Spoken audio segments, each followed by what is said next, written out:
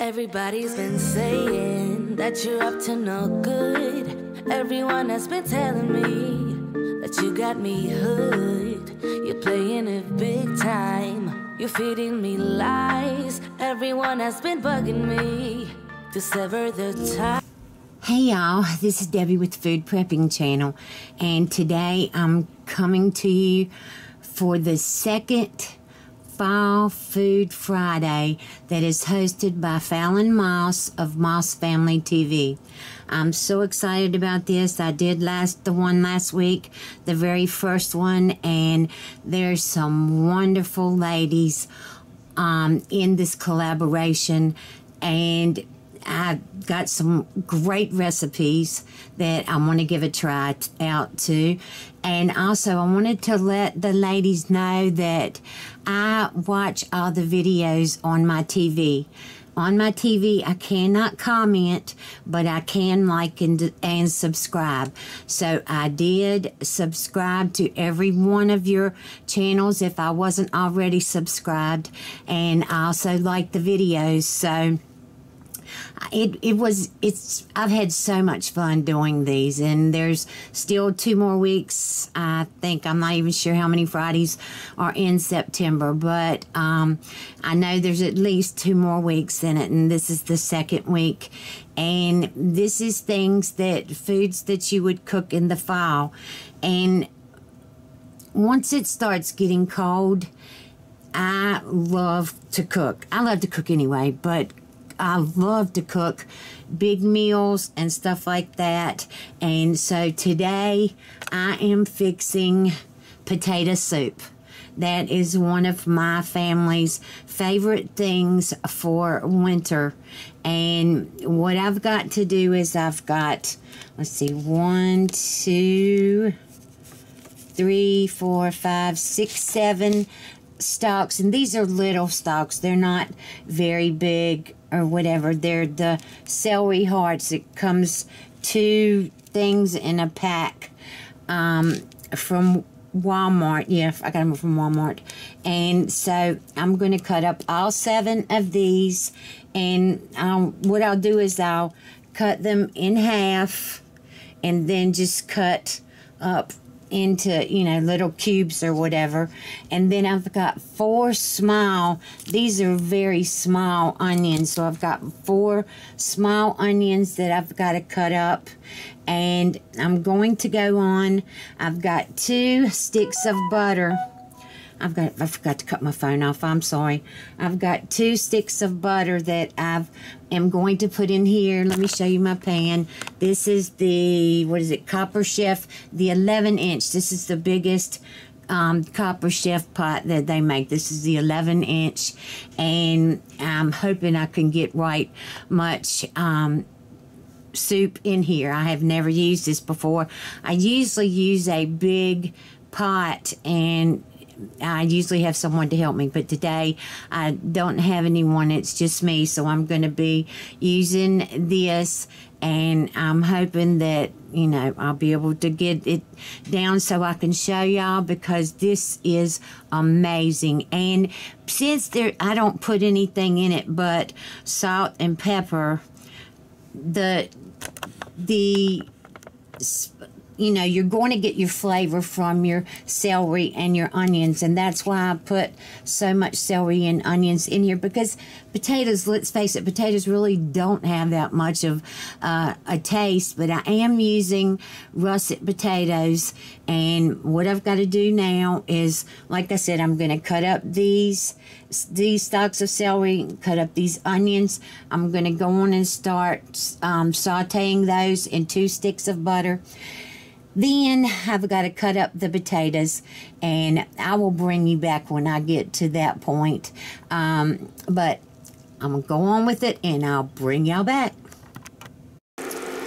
Okay, y'all. All right, so here's all the onions and the celery cut up in here. You can see it's right much of it.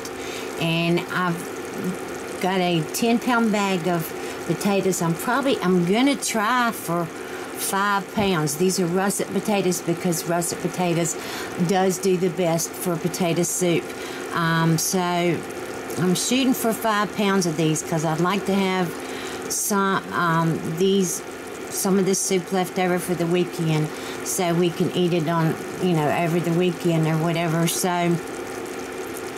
i'm going to i've got this on 175 on my NuWave and i'm just letting this simmer you know saute slowly right now while i cut up the potatoes and i'll bring you back when i get to that point Okay, y'all. All right, so I've got all the potatoes cut up and they're all in here.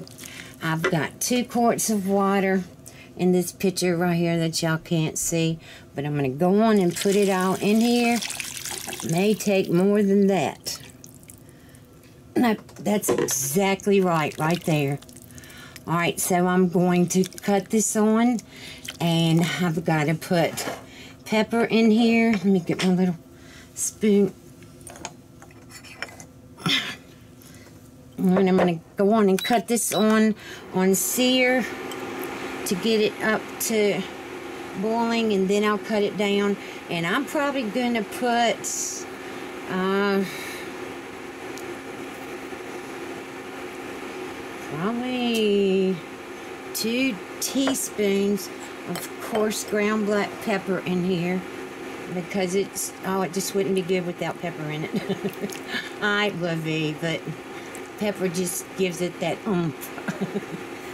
All right, and I'm probably going to put two teaspoons of kosher salt in here too because this is potatoes have no salt and I haven't put salt in anything. The butter's got salt in it but not very much. All right. So that's probably two teaspoons of kosher salt and a teaspoon of I would say a teaspoon of coarse ground black pepper. And I'm gonna go on now and let this cook and while this is cooking I'm gonna get my cornbread ready um, and get it in the oven because you gotta have cornbread with uh, potato soup you know, I, it's really weird because I think it's like 87 degrees out here today. Um, let me check. Uh, what did I do with my phone? Let me check and tell y'all what temperature it is out here today.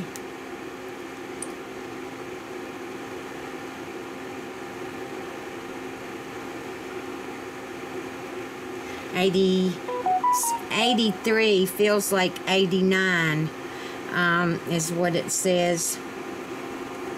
So here I am making a, definitely a fall winter meal for us.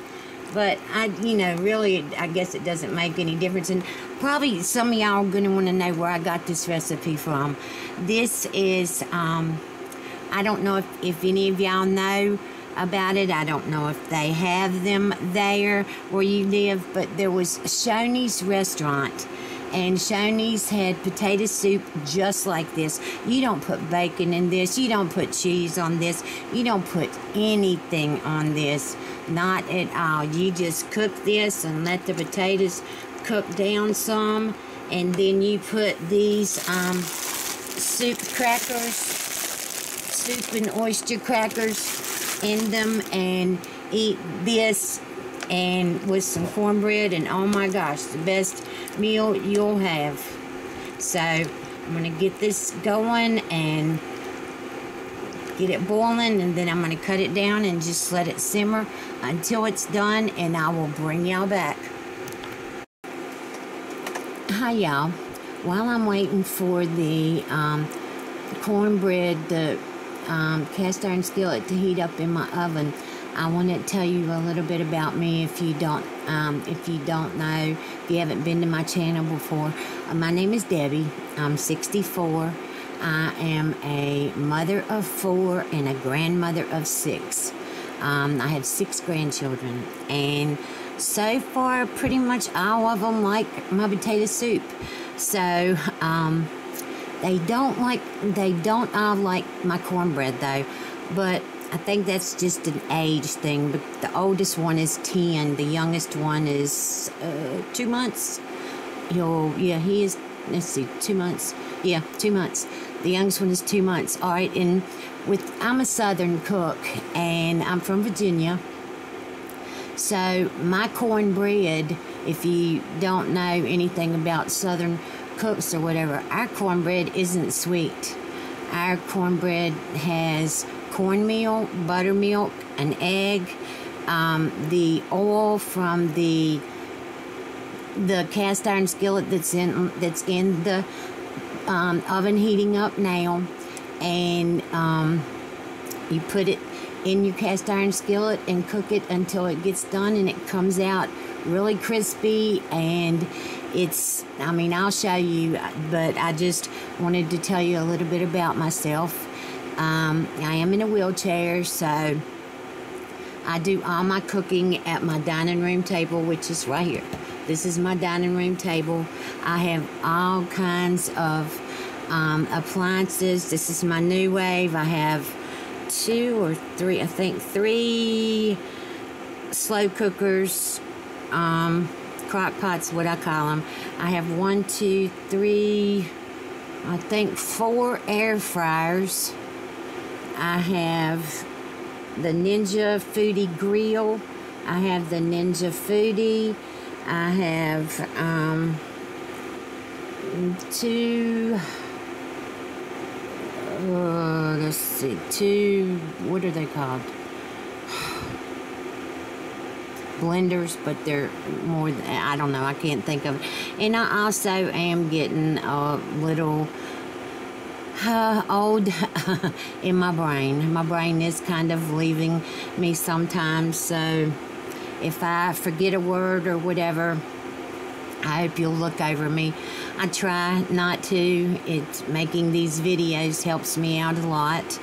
Um, but I'm constantly cooking things. Now I can use my oven and which I do, but I don't use my stove. My stove is up too high for someone in a wheelchair, so that's why we use the, you know, most people that do cook in a wheelchair do use something that is shorter than their stove. Now, there are some people that still cook in their stove, but I want to see my food when I'm cooking it. I want to know what it looks like and all this. So I have everything in here on my kitchen table and my everything, all my spices are right here on my um, tools or you know your utensil things your spatulas and all that are right here behind me. My dishes are here behind me. Um, my bowls are, are in the kitchen in the cabinets and all that but i do you know do most things right here at my kitchen table and so I'm going to go now I've got to go get my cast iron skillet out of the oven and make my cornbread and I will bring you back in just a little while and we're going to show you what this potato soup looks like okay y'all since I was telling you about the my cornbread that I make, I decided to go on and show you. So what I've got in here is I've got two and a half cups of cornmeal in here. All right, and now I'm going to put, I always do the same measurements. Two and a half cups of cornmeal, two and a half cups of buttermilk. And if you don't have regular buttermilk, I'm sure that most of you know that you can make buttermilk by putting, um, getting a glass of milk and putting get two and a half cup glass or whatever of milk and put two to three uh, tablespoons of vinegar in there and let it sit and for five or ten minutes and you'll see it get just as thick as this cornbread. Watch how thick? Well, you can't see it. There you go I'm doing it backwards so you can see. My hand's not going to twist but so far. Alright, you see how thick it is? Alright, now I'm going to do a half a cup.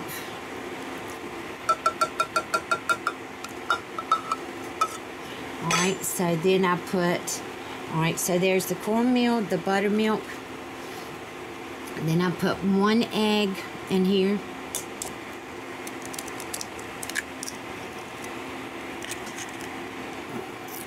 All right, and then I take my whisk or my fork. I just got out of fork. I didn't even get out of whisk. Break my egg up, and then I just stir this until it's all combined.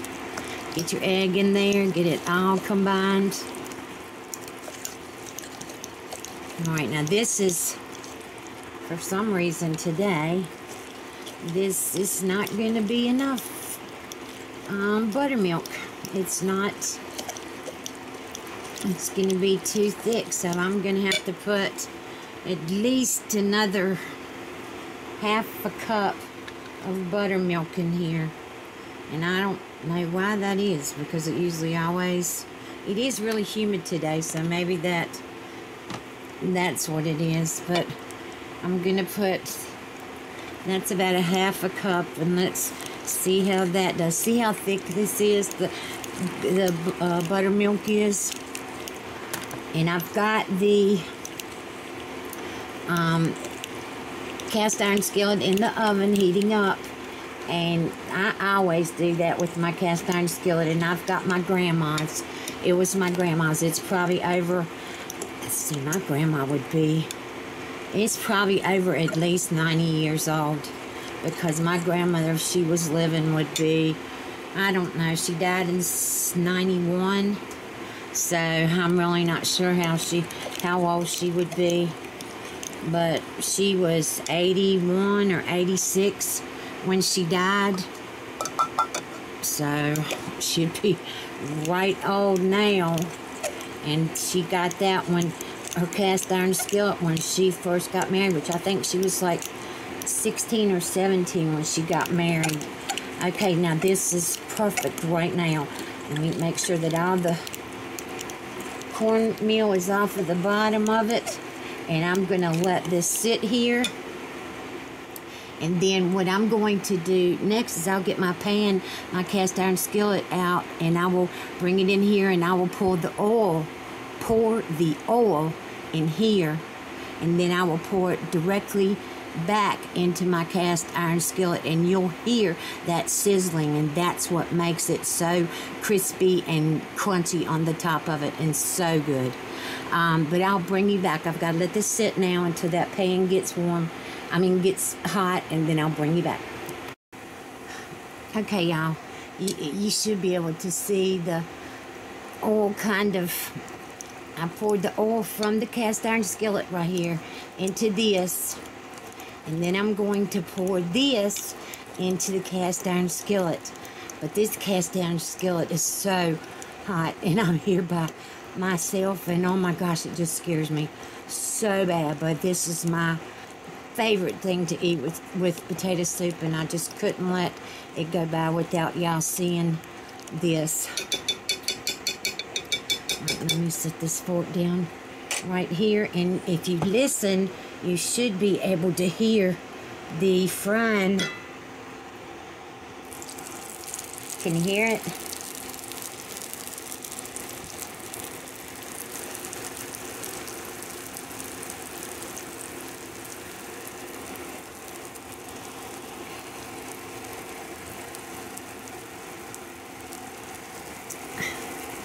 See how it's frying in there?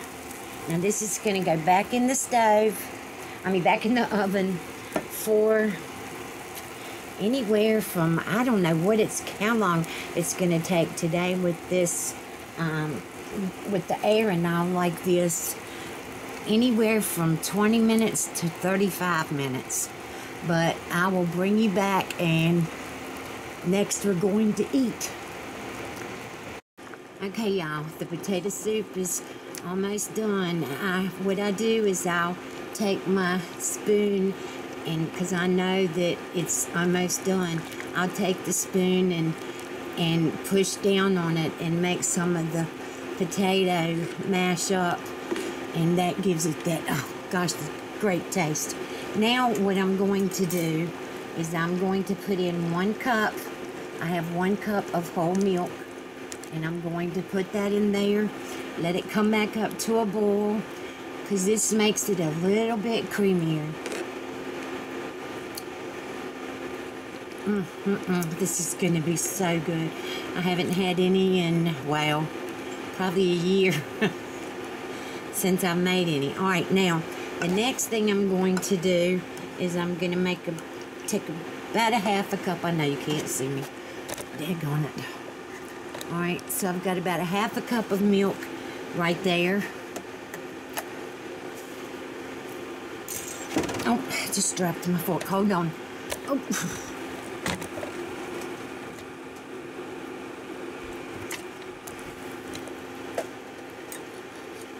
That's the one bad thing about cooking on the, my table. It's just not big enough. I wish I had a big table, but I don't have a big place to live, so my table is the about the only size that'll fit in here. All right, so I've got um, cornstarch. I've got the Argo cornstarch.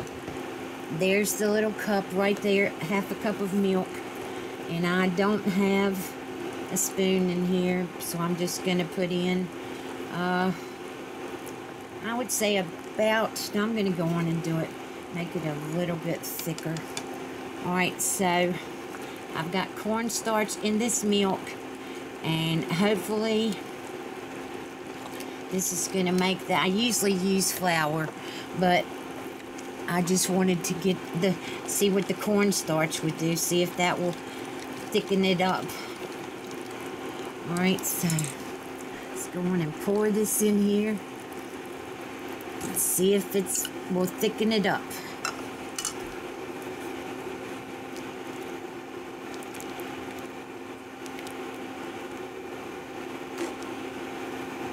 Oh yes. Oh my gosh, y'all, this is going to be so good.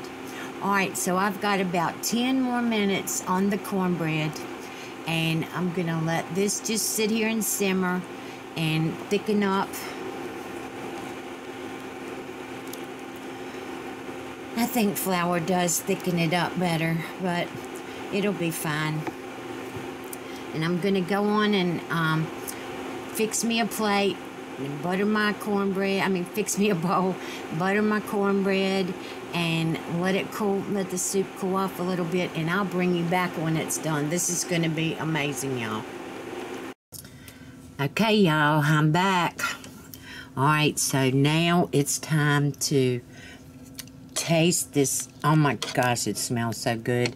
Looks so good. I've got my, I put my little soup crackers in here and here's my cornbread.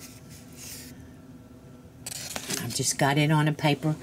And here is, let me zoom this out some so y'all can see this better. Okay, here is the cornbread. Now I want y'all to listen. It is a crispy coating because my cast iron skillet was hot. There's the inside. I used pure buttermilk with this with this um, thing of cornbread. I didn't use milk and vinegar. I used um, buttermilk. All right, and now let me show you the potato soup. Well, it's over there. You can't see it, but it was it's cooked to perfection. it really is. I can't wait to taste this. I had to I've had to let it cool off, stir it, let it cool off so I could show y'all. All right, there's my bite. Oh.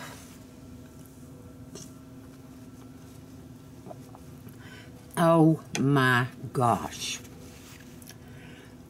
Oh my gosh, y'all. Mm-mm-mm. Now I'm going to take a bite of my cornbread. Mmm. Mm, mm, mm. This is the absolute best dinner. Thank you for watching this video. Thank you, um, Falon, for hosting this video. Please go and look through all the other women's um, Fall Food Friday videos and subscribe to them, like their videos, and I hope you'll like mine and give me a thumbs up. And I will talk to you later. Well, matter of fact, I'll see you next Friday. All right, y'all. Bye.